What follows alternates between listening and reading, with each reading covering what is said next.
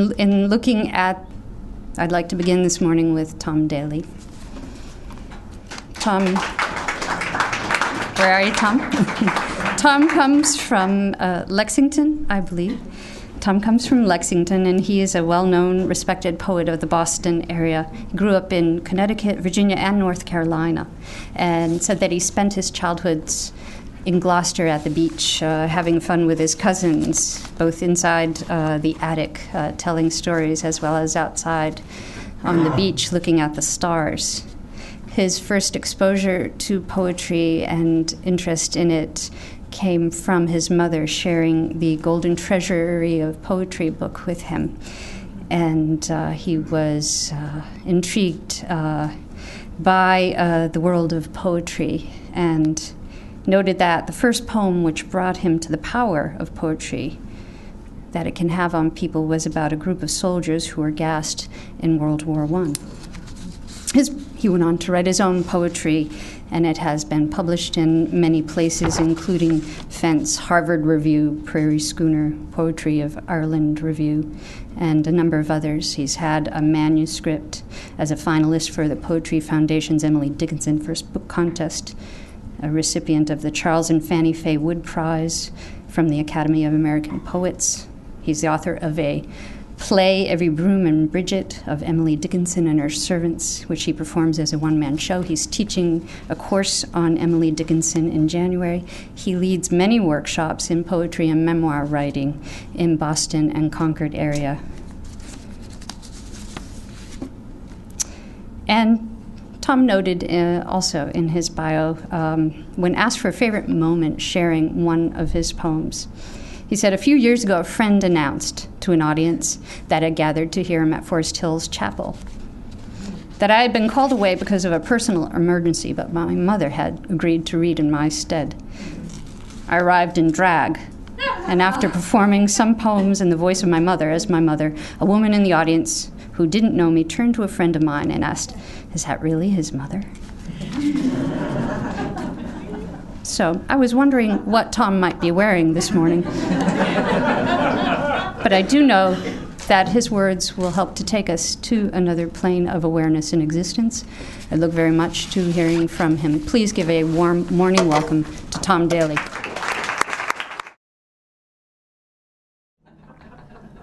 Your rallies were shod by banana peel blacksmiths. Yours is a republic of crash and crying out loud. Now you have nothing to lead us, just a darker tint to the windows of your limousine as you skitter off on another drive by crisis. What do you mean by subterranean economies? If these dips are mavericks, why then are they little calves bleating for their brands? I am wise to your feints, to your doping indicators, to your tribe of tyro soothsayers who cut their teeth on their own sound bites. Sir, I am proud of my prudent weather. I never forswore my sweeteners completely, yet I know how to stretch the dregs in a bottle of ketchup. I canceled the milkman long before you cashed in your Krugerrands. But, sir, this is slapdash. This is kidnapping. This is all my collectibles, cheek to cheek with the ukuleles in the pawn shop window. This is a dead letter destination for a mail order bride. These are the decades of tinned pilchards against which you said you had me inoculated. Boy, you're a relief pitcher brokering a bases loaded with ball after ball after ball. You're a bank teller whose foot just happened to forget where the stick up alarm floor pedal roosts on its springs in a week of serial robberies just like this one. The next poem is.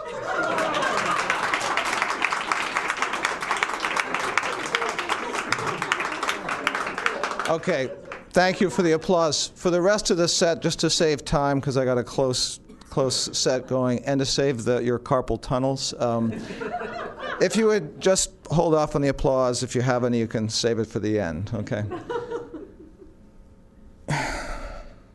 My mother speaks with two police officers who visit her home on Good Friday afternoon. This is a little different tone here.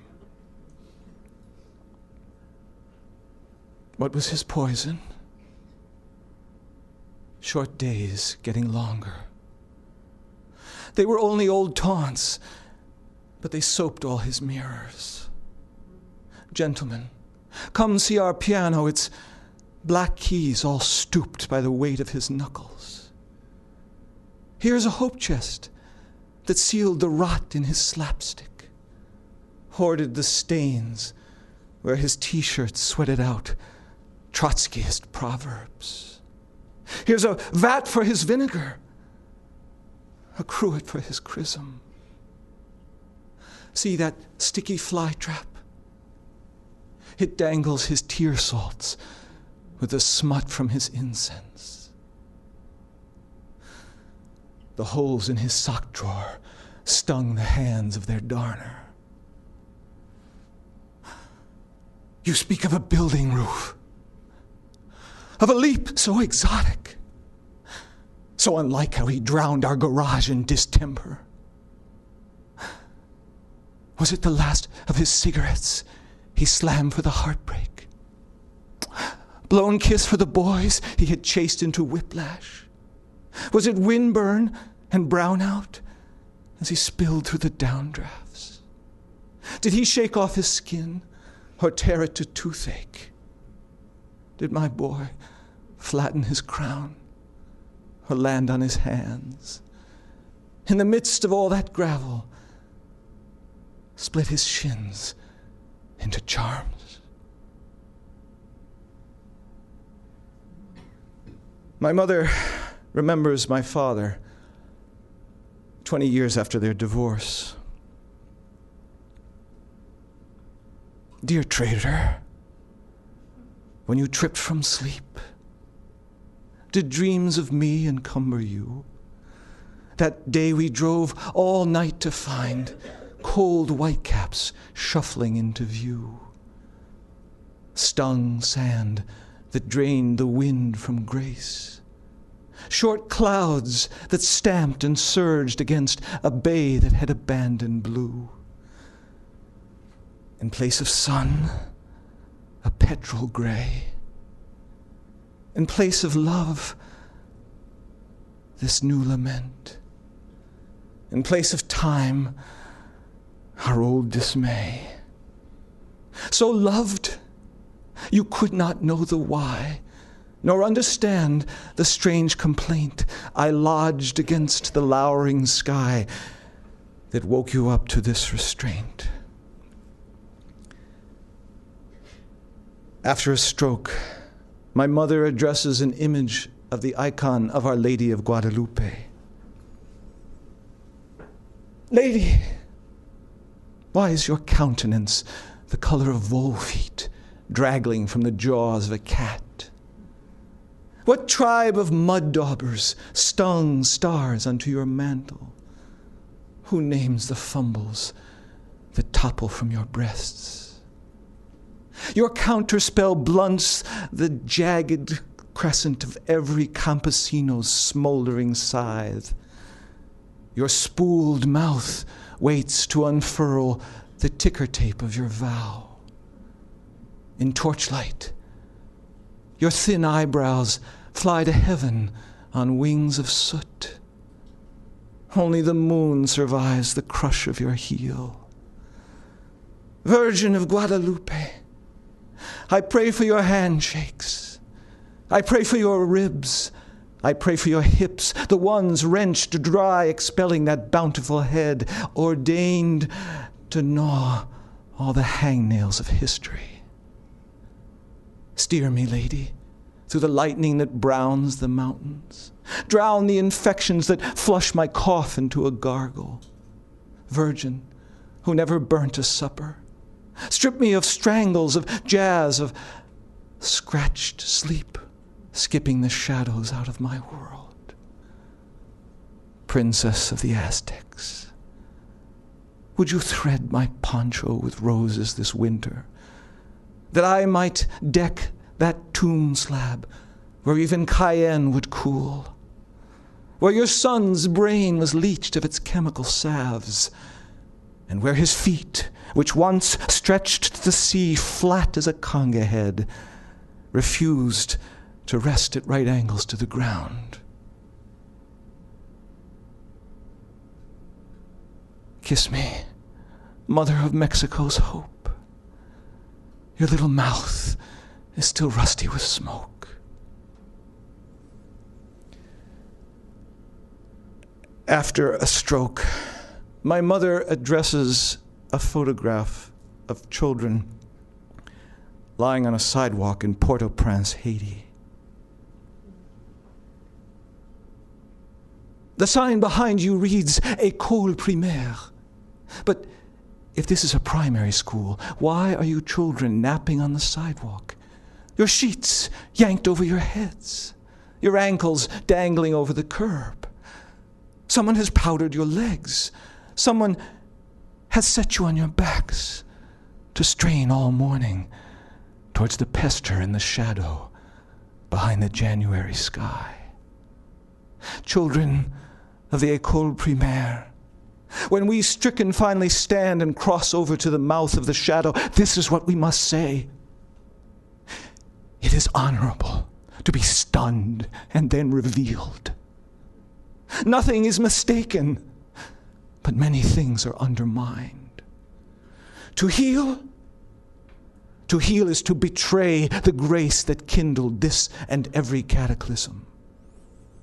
Peace, peace, children.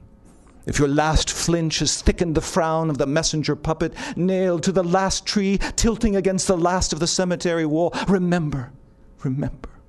You were all felled by a concussion louder and more terrible than the trapdoor of the thuggish Tonton Macoute.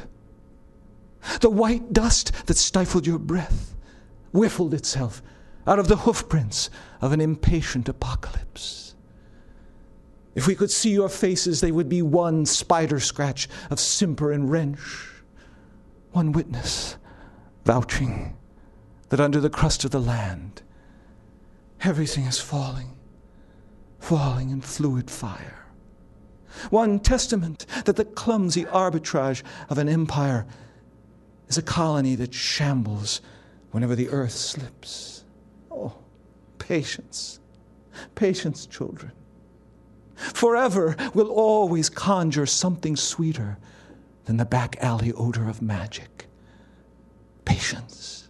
They are coming for us soon enough.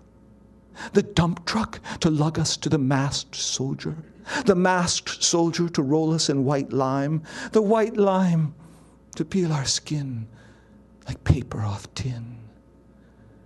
If the tiny bones of our ears spin like jacks in the aftershocks, the coming cold rain will stir every indignity from our ashes. The cold rain will clear our copybooks, ciphers, and letters, which are hoarded, which are scrawled in ink, hoarded from dust, gathered in the shadows of hell.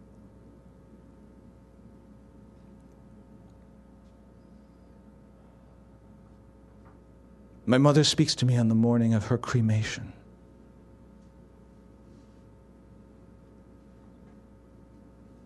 When you remember me, remember my eyes as they were when you lifted the lid of the cardboard box for one last look. Remember, they were open, no coins to weight them shut. Gray blue, fixed on the ceiling, taking in nothing, beautiful in their purposelessness. In the future, I will come back to you in glimpses, pieces of me looking around your corners, fond and animated. But for now, my eyes are resolute, unperturbed, beyond stasis, ready for the fire. In that place where both healing and damage are mutually suppressed, where ambition and frustration have steamed away between the tiny ridges of a sandbar, leaving a little salt, a little grit. So I would be averse if I wrote, read a whole bunch of poems about my mother and didn't say anything about my father.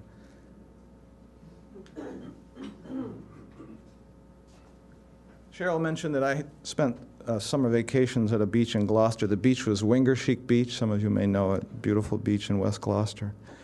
And this is a poem that I wrote for my father as he was dying of prostate cancer. This is a, uh, a broadside with old uh, antique photographs of Gloucester and Wingaersheek, which is available afterwards. The poem is called Rocket Inn for my father. Body surfing off the beach at West Gloucester, our feet found your shoulders underwater. Our hands grabbed your hands, and we climbed your back as if it were a missile pad, your hair matted down as you crouched in the teeth of high tide. You tossed us out to sea a hundred miles, but the ripples we made came back as bunching swells that bent and teased the air, so that far off you could see them fatten a landscape of rows of molehills shuddering over the sandbars. Minus your morphine drip and your catheter, and with your freckled head itching with foam, we remember you here in this place. Imagine you, clam noises, and the smell of the wind whirring through screens, the sun blinking phosphorescence over your head. We sidle up to you as you stand in the sand yard. Your eyes are careful, they squint at the sun. You're wearing a red plaid jacket, your hair slicked back with hair cream or the salt of an early morning dip. You must be on your way to Mass, to eat the cardboard tasting wafer you believe is divine, Irish divine, Irish Catholic in West Gloucester. Now you are brawling with your sister in the back seat. Now your father is barking at the potholes in the roller coaster road. You might slip from the car with us and come with us and kick our way out to the longest, farthest sandbar. Mount Agamenticus looming like a skellig in the distance. The Isles of Shoals, a Greek freighter in the blue haze.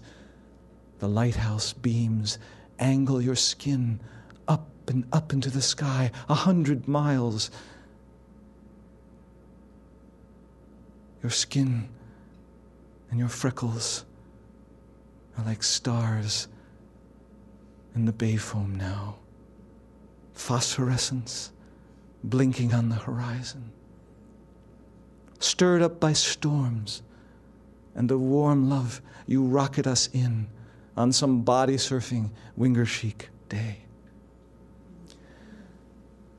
My last piece is a, a, soliloquy from the poem that Cheryl mentioned. It's in the voice of Tom Kelly, who was an Irish immigrant who was an employee of the Dickinsons, who were a wealthy Yankee family. And uh, Emily Dickinson and Tom Kelly had a kind of platonic relationship. He, she appointed him to be her chief Irish pallbearer, her chief pallbearer, which was sort of the equivalent of some very wealthy woman in Lincoln or Weston having her um, Laotian sand floor sanding crew be her pallbearer. She wanted an Irish, and this was this was her way of sort of thumbing her nose at proper Yankee society, who considered the Irish to be uh, second-class citizens. Um, so. The play is in the voice of Tom Kelly, who sort of channels the events of the day of Emily Dickinson's death. And um, in this soliloquy, he's standing outside of uh, Emily Dickinson's window. I, have I've printed out the soliloquy on another broadside, which is also available. Um, so imagine Tom Kelly, chief Irish pallbearer, standing outside Emily Dickinson's window the night after her funeral. The poet Emily Dickinson. There'll be no lamplight burning your window panes this evening. There'll be nothing burning for me ever again in this place. How many times have I run here from my rounds as watchman for the college to keep a secret vigil here under your window as the shadow of your pen feathered its mysterious codes out to the Milky Way. Just around the corner is your garden, where we committed our first confidences. Spring mornings, I'd bring you a load of manure. In the fall, I'd put your beds to sleep. That's where we had our short laughs about the long lunacies of women and men. And that's where you told me of your squelched yearning, and how that other side sometimes pierced you clear through like the tines of a pitchfork. And that's where I told you of my terrible feeling that I was nothing more than a tenant in the garret of my own heart. Ah, there was never a woman to talk to you, talk to like you, Miss M. Not my wife Mary, not her sister Maggie, your housekeeper, worrying themselves over children sick or in good health, or constantly negotiating someone else's housekeeping out of deadlock. And you had your own distractions too, after all. You were the refined, if enigmatic daughter of a Protestant squire, a woman who could only be discreetly and occasionally aware of the fervent attention of this Catholic serf. Oh, I think of you now as a votive bat blinking out of small caves, a, a prehistoric bird, a, a cormorant, skimming through water tension and then flinging yourself into air darker than the bone of time. You were a marsh drowned in the thaws of April. A torch fusing pollen and horsehair. The wags in town and the imbecile critics dubbed you the half cracked poetess of Amherst. But I'm guessing, only guessing, Miss M, that someday your words will shiver the world with their sleet. Ah, Miss Emily. I'd ask God to grant you eternal rest, but somehow I know your unquiet soul will be having none of it. I remember once over here in say at school there was a clock and a regiment of girls gripping their hymnals and standing at stiffened, compliant attention. I'll wager my right arm that you turned on the sour heel of your theology and stared them all down. That's my girl. Lord, if the apostate Emily Dickinson has refused your grant of peace everlasting, may perpetual light shine upon her. Oh, I hope you don't mind me saying this, Lord, but the woman was like, like a trinity to me. Whale oil, lamp wick, and above all, flame. I curse my fate that I lived long enough to see you snuff it all away.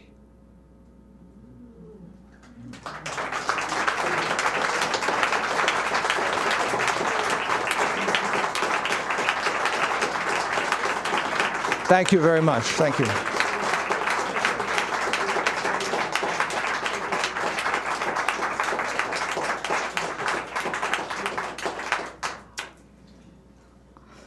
all those. Do you know why the angels envy us? Us who have to eat and defecate and die?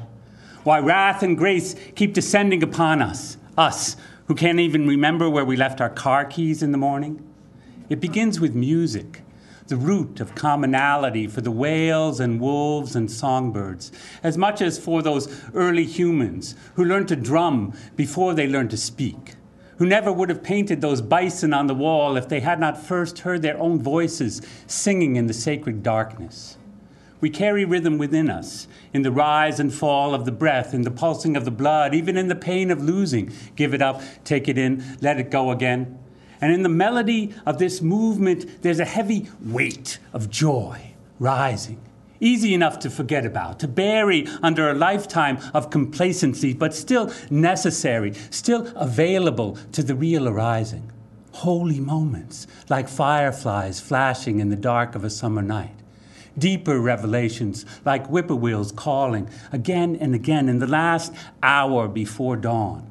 If we were to, to swim in joy like an ocean, be overwhelmed by it, held up by it on every side, would we learn to hear our music echo back to us as knowledge? Would we grow fins and learn to suckle our young while floating? Would we learn to hold these moments between being and becoming, between the, the honeyed deep or the empty blue?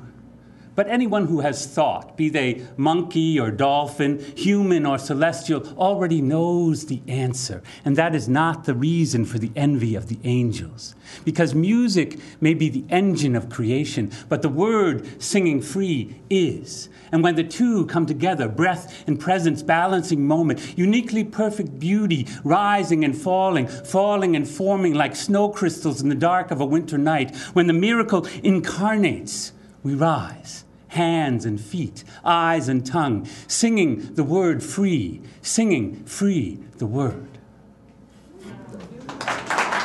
Thank you.